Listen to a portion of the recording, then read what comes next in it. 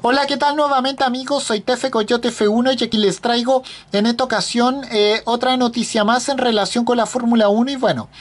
como sabemos, eh, Escudería Ferrari renuncia a la posible llegada de Jan Todt y bueno, como sabemos, John Elkan rechaza su retorno a Escudería Ferrari como asesor del equipo y bueno, vamos a hablar un poco de aquello.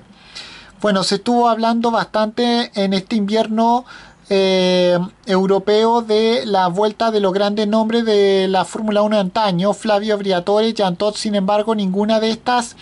personalidades fue confirmada aún y, es que parece de alguna apuesta se, se, va descartando. Como sabemos, el que, el que hasta en verano de 2021 fuese el CEO interino de eh, la marca Ferrari, o sea, John Elkan, confirmó el desinterés actual que existe eh, sobre el regreso triunfal del expresidente de la Federación Internacional del Automovilismo, Jan Todt, y bueno, eh, Elkan, que mantiene su cargo como presidente de la compañía italiana, eh, rechazó la idea de recuperar a Jan Todt, según cuenta el periodista italiano de Giorgio Giorgio eh, Terruzzi eh, la, para el medio Corriere de la Sera. La marca automotriz del Cabalino no está interesada en, acoger al nuevo, eh, de nuevo al experimentado gestor de 75 años que en diciembre del año anterior abandonó la presidencia de la FIA y ahora se encuentra sin ningún trabajo. Según Terruzzi, eh, que también fue el primero en anunciar la posible vuelta del antiguo jefe de, del antiguo jefe de la escudería domiciliada Maranello,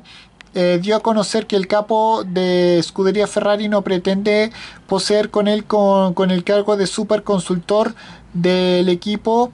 eh, puesto a que se avecinan nuevos tiempos para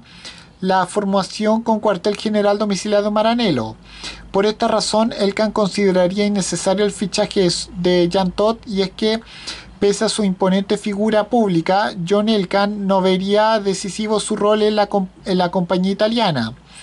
La sociedad eh, Ferrari, que en 2022 estrena un nuevo logo especial como conmemoración de su aniversario número 75,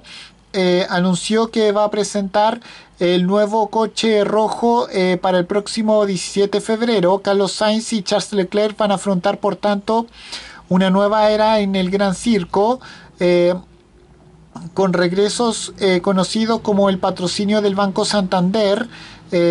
y bueno, posiblemente puede que ya desaparezca Philip Morris. Y bueno, pero sí la vuelta de Sedatot según las últimas informaciones provenientes de Italia. Bueno, eh, bueno, y antes de responder, y antes de, eh, y antes de, eh,